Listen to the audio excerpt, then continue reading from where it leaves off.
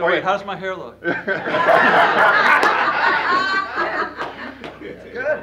So Bruce, I, I, I You don't, took care of it.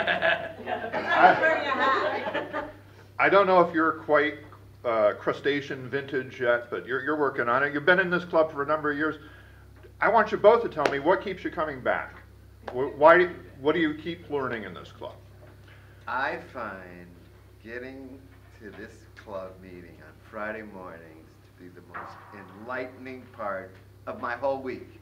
Because when I walk away from this meeting, not only do I cheer, I'm singing, I'm encouraging my friends that they can do it, and I get encouragement to continue to come, and it, it gives me a good feeling.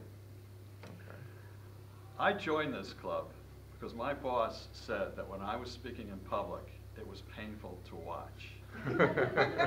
It was all, she couldn't stand to watch me. She said, you either have to learn how to speak or you're not gonna be allowed to speak anymore. And so I came here and, and Toastmasters helped me a lot. But then it got to the point, I come back because it's fun. It, it's actually fun to speak and, and participate in the activities. I actually hope I get called up for table which is crazy. But it actually helps you, you know, get a lot better. I mean, Why stick, I mean, there's a basic program that's supposed to get you over that nervousness about speaking, teach you basic skills. Why, why stick with it, though, after those first 10 speeches?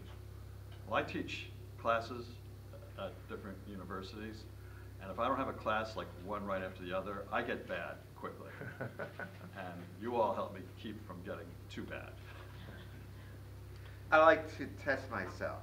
Uh, I know when I haven't done a speech in a long time, my comrades will come to me and say, Bruce, it's your turn. Get your butt up there and start doing something. And then I get to the table and I start thinking of ideas, and it keeps my juices going. And we should hear from you about the role of humor in speaking. I mean, even, there's giving a humorous speech, but there's also humor in any speech can make it better. I draw upon experiences in my life that I can share that I found to be chuckling, and I like to share them. Life fun.